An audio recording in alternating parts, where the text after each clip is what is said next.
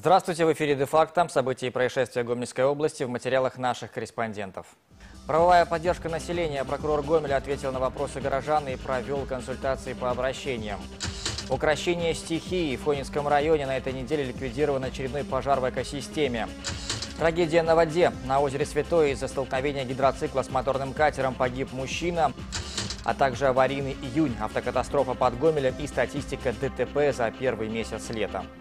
Не переключайтесь, впереди горячее происшествие недели.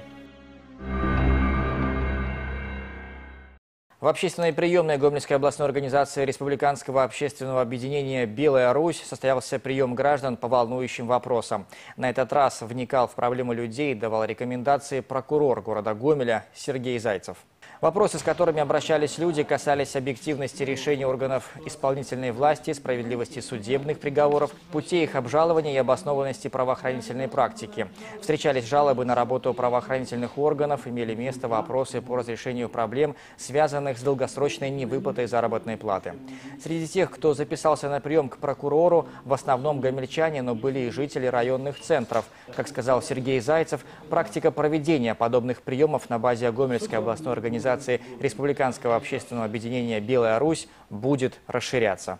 Прокуратура э, идет на контакт э, со всеми, будем говорить, зарегистрированными общественными организациями, политическими партиями. Я думаю, что это в интересах всех наших граждан, и мы будем постоянно осуществлять подобное сотрудничество.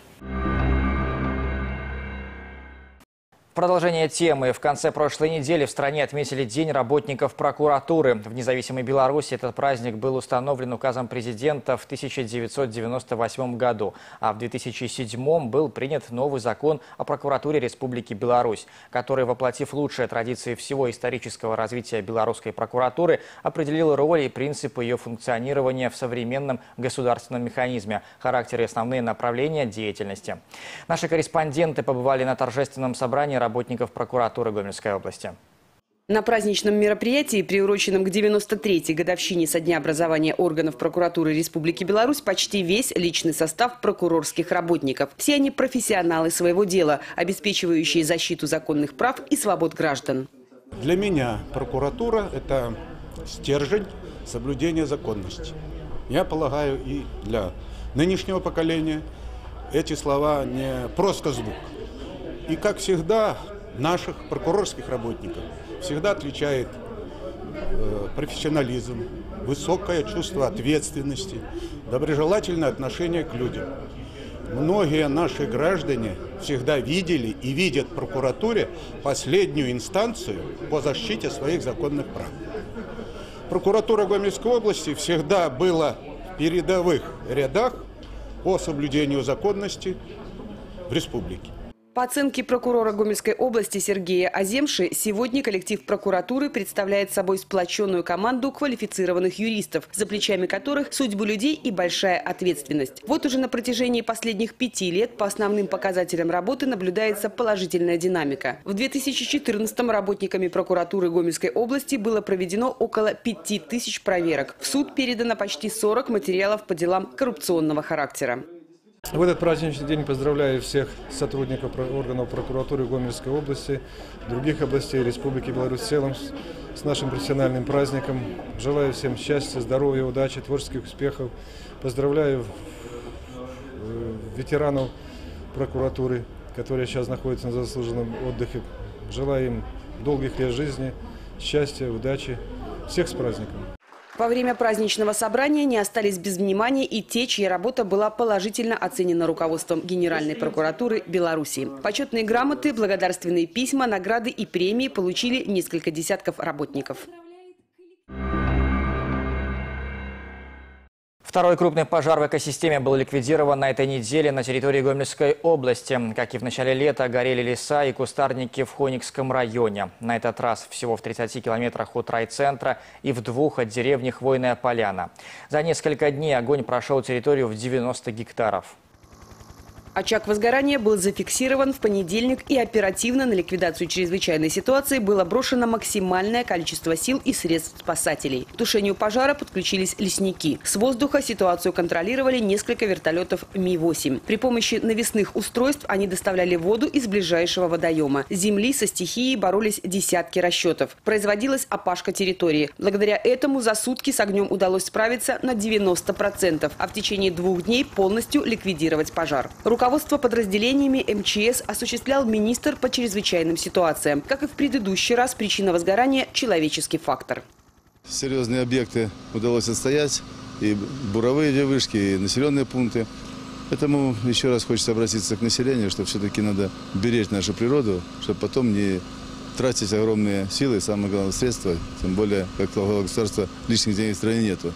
И здесь надо бережно ко всему относиться. Между тем, на Украине, согласно данным, от 1 июля сохраняется режим чрезвычайной ситуации. В зоне отчуждения Чернобыльской АЭС горят леса и сухая растительность. Площадь возгорания 130 гектаров. В ликвидации пожара принимают участие 113 человек и 24 единицы спасательной техники. Ситуация осложняется еще и тем, что болотистая местность не позволяет направить технику непосредственно к очагам возгорания. Сегодня сообщается, что пожар украинскими спасателями локализован. По данным метеорологов, повышение радиационного фона на территории Гомельской области из-за пожара в Чернобыльской зоне не регистрируется. 7 кубометров пиломатериалов сгорело на предприятии по деревообработке Ельского лесхоза. Сообщение о пожаре поступило в МЧС в понедельник примерно в 16 часов. На место происшествия было направлено 4 автоцистерны и спецтехника. Когда спасатели прибыли на место происшествия, кровля цеха по деревообработке уже горела открытым пламенем. Пожарным удалось локализовать возгорание через 30 минут, а полностью его ликвидировали лишь через час. Руководство организации сейчас подсчитывает убытки. В результате пожара было уничтожено 7 кубометров пиломатериалов, деревообрабатывающий станок и повреждено помещение. Пострадавших нет. Однако работникам МЧС удалось спасти соседнее здание пилорамы. Предполагаемая причина пожара – нарушение правил эксплуатации электрооборудования. Рогачевском районе на озере Святое водолазы подняли тело утонувшего работника местной базы отдыха. Напомним, в субботу на водоеме произошло столкновение моторного катера и гидроцикла. Пассажиры последнего, включая водителя, получили серьезные травмы, а судоводитель катера выпал за борт и на протяжении пяти дней водолазы «Освод» из-за сложных условий работ не могли его обнаружить. Наши корреспонденты изучили подробности.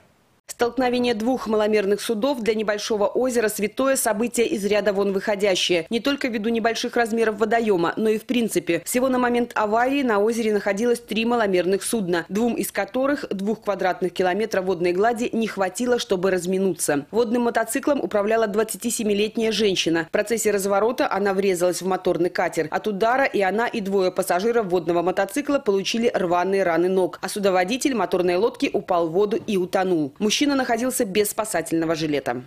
Причинами данного происшествия послужило э, нарушение пункта 16 правил пользования маломерными судами и правил плавания по внутренним водным путям Республики Беларусь. А именно, э, владелец гидроцикла передал э, в пользование гидроцикл лицу, э, которое, у которого не было прав, э, удостоверение на право управления маломерным моторным судном э, э, с мощностью двигателя более 5 лошадиных сил. На момент аварии в моторном катере помимо водителя находился еще один мужчина. Придя в себя после удара, он помог выбраться из воды травмированной женщине, пассажиру гидроцикла. Пострадавших с различными травмами доставили в больницу. По предварительным данным, гидроциклом управляла женщина, находившаяся в состоянии алкогольного опьянения. В результате столкновения женщина, которая управляла гидроциклом, получила телесное повреждение в виде перелома голени. Двум ее пассажирам, мужчине и женщине, были причинены телесные повреждения в виде резанных ран и ушибов.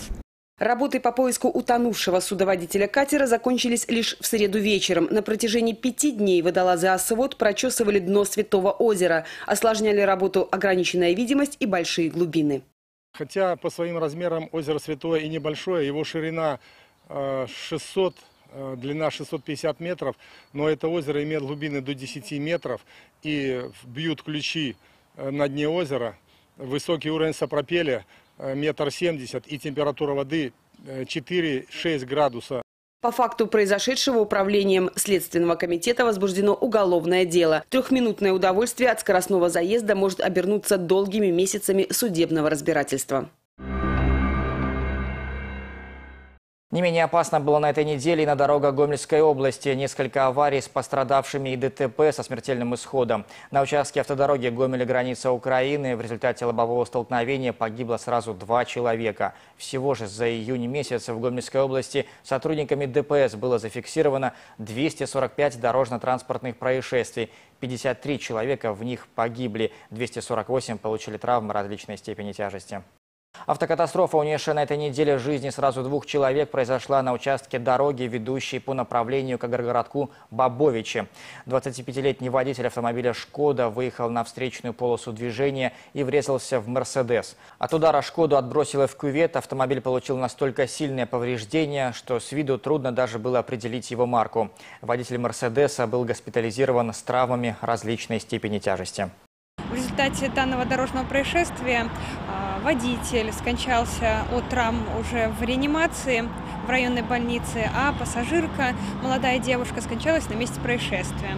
Водитель Mercedes-Benz был также госпитализирован, но травмы его совместимы с жизнью. Для выяснения обстоятельств дорожно-транспортного происшествия и причин его возникновения на место выехали в составе оперативной группы эксперты Государственного комитета судебных экспертиз.